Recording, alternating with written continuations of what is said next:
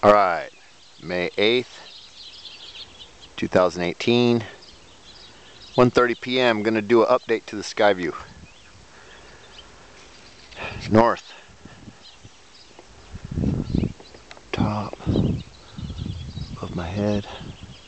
Those look so wicked. Northeast. Almost looks like an X that just got knocked out and then there's like a triangle in the middle. Crazy. Just look at that. It literally looks like a triangle.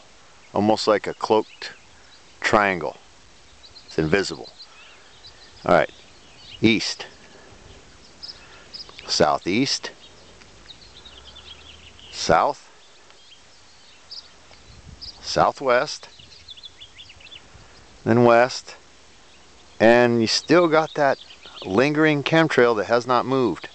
Now, everything that was up here is pretty much all but dissipated. And that's about it. Peace out, everyone.